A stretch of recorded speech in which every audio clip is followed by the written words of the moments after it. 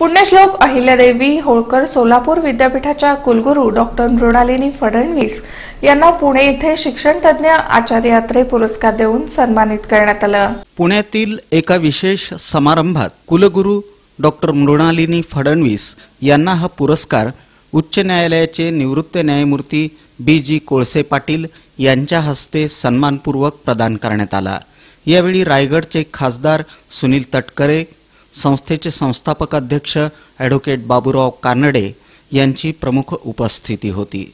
सहस्त्रकोत्तम साहित्य सम्राट आचार्य अत्रे यांच्या एकशे एकविसाव्या जयंतीचं औचित्य साधून आचार्य अत्रे स्मृती प्रतिष्ठानतर्फे विविध कार्यक्रमांचं आयोजन करण्यात आलं होतं.